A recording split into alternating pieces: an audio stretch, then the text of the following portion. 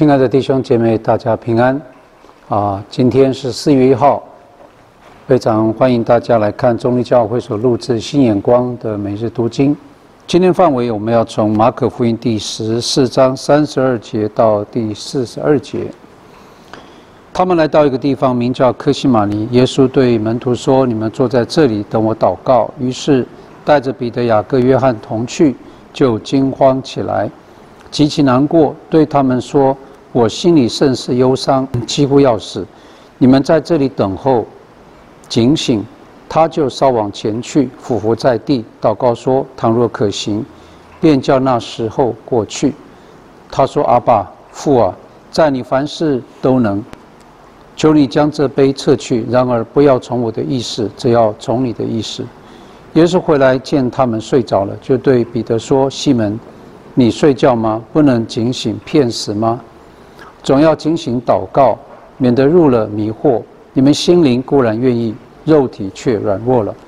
耶稣又去祷告，说的话还是与先前一样。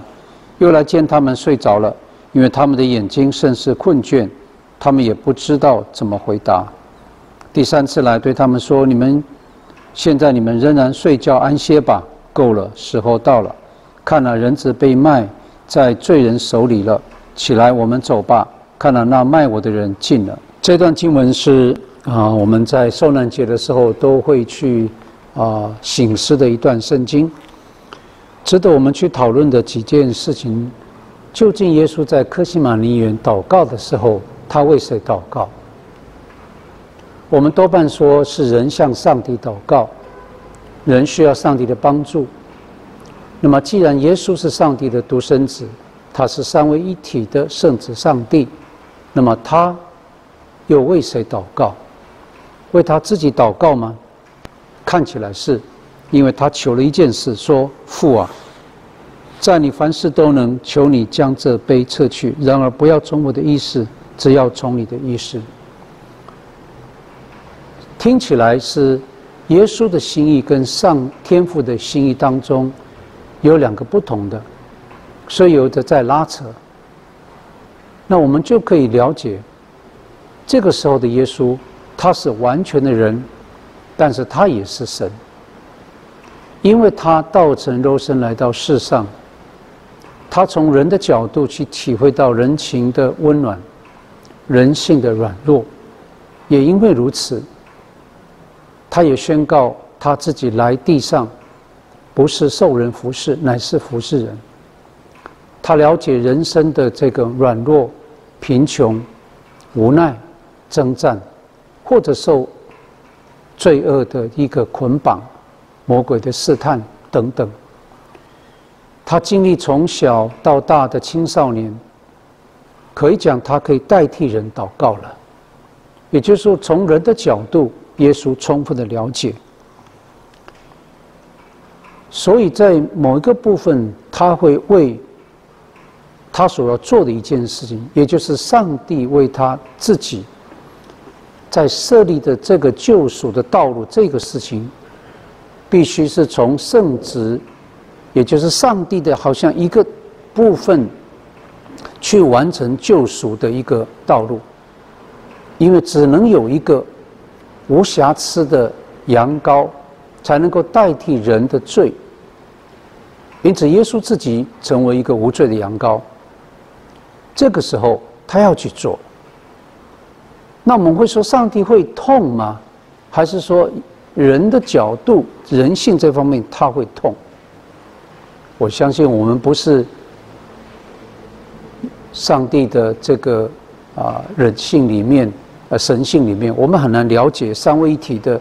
上帝他们之间，因为罪的缘故，甚至抽离出来，在那个被定十字架的当下，他全然承担了全世界、全人类的罪，而这个罪对于至圣上帝来讲是一个亵渎，是必须切断的。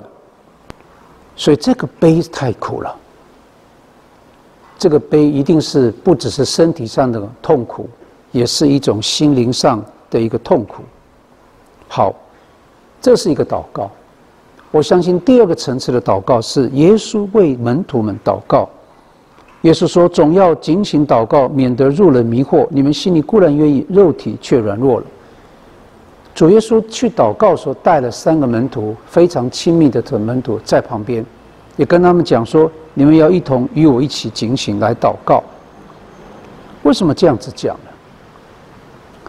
因为门徒虽然三年的时间跟随他们的夫子耶稣。他们看见了耶稣的教导、神迹奇事，他们也知道说他们耶稣是上帝的独生子。可是这是认知的层次。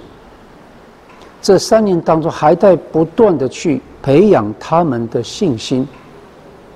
我们人如果说我们的信仰的层次有两个方面，第一个层次是信自己所相信的，也就是说。从一个合乎自己的利益、自己想法的对象来讲，我把你尊崇为神，是因为你可以满足我可以接受的，我能够明白的，而且真的是实现我的理想盼望。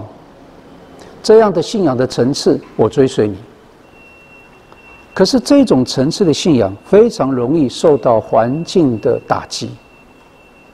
果然，我们看见十二个门徒当中。备受打击的不是只有犹大出卖的耶稣，连彼得如此坚固的门徒，他也信心跌倒，他不认耶稣是他的主。我们说这个是第一个层次，相信自己所相信的。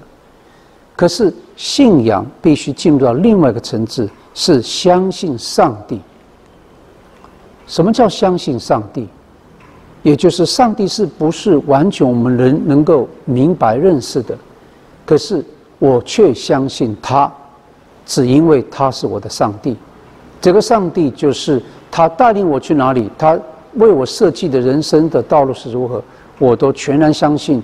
即使我不明白，这个信仰才是真正合乎上帝的心意。我们称之为与上帝同行的信仰。从古至今，第一个。让我们看见与主同行的圣经当中有写，一个是挪亚，一个是以诺，亚伯拉罕，后来的摩西。我们看见这些人与上帝同行。挪亚的例子更是一个非常典型的例子。他与上帝的同行是不明白，他被上帝要求说去做个方舟，因为洪水要来了。我们要晓得。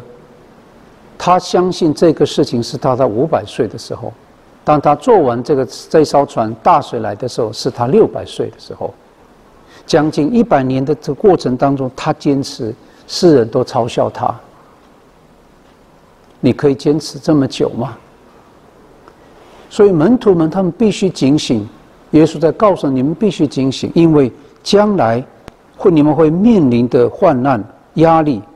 都会考验你们跟随我的一个信心的程度，你们爱我的程度、忠诚的程度、诚恳的程度，都会面临这个挑战。